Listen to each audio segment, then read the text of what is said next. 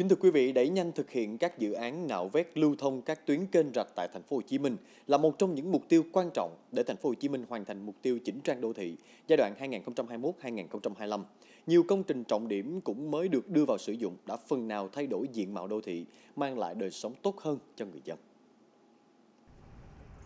Đoạn bờ kè trên tuyến kênh tẻ đường Trần Xuân Soạn, quận 7 trước đây thường xuyên bị sạt lở, sụt lún và hư hỏng. Nhiều người dân lấn chiếm để buôn bán khiến cảnh quan vô cùng nhếch nhác. Sau 8 tháng thi công thực tế với 4 giai đoạn và tiến hành di dời các hộ dân lấn chiếm, Trung tâm Quản lý Đường thủy thành phố và Ủy ban nhân dân quận 7 đã chính thức đưa vào sử dụng hơn 1,2 km tuyến kè kênh tẻ. Công trình kiên cố này được kỳ vọng bảo vệ bờ sông, môi trường, tạo cảnh quan cho người dân sinh sống quanh khu vực và nhất là chống ngập trong những ngày đỉnh triều hiện nay. Lúc mà làm kè bờ kè tới giờ thì cô thấy là nó thoáng mát, sạch sẽ. Đó. Thì người dân thì dễ cũng dễ buôn bán. Công trình này thì là chia làm ba giai đoạn thì thực hiện thực tế ở tại hiện trường là khoảng 8 tháng. Hiện giờ là mình còn khoảng đoạn cuối khoảng trăm mét, dự kiến tới Tết là mình sẽ xong.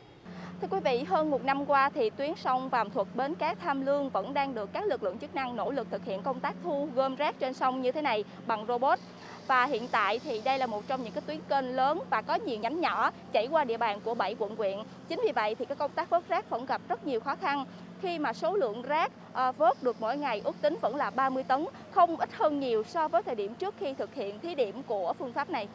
Muốn cho nó triệt để này thì mình phải đồng bộ hết tất cả các tuyến kênh thì ờ, nó mới đảm bảo sạch ờ, được.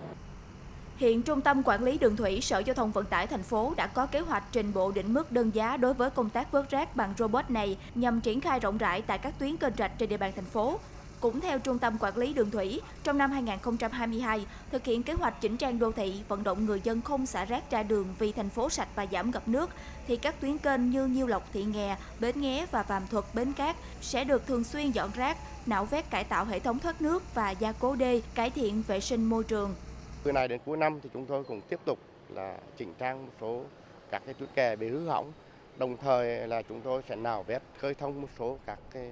luồng tuyến các cái kênh rạch để đảm bảo cho cái việc và giao thông thủy. Bên cạnh đó thì chúng tôi à, cũng đã thực hiện à, đối với công tác là đối với các bến khách ngang sông thì à, cũng thường xuyên là kiểm tra và hướng dẫn cho các cái chủ bến để đảm bảo công tác về an toàn.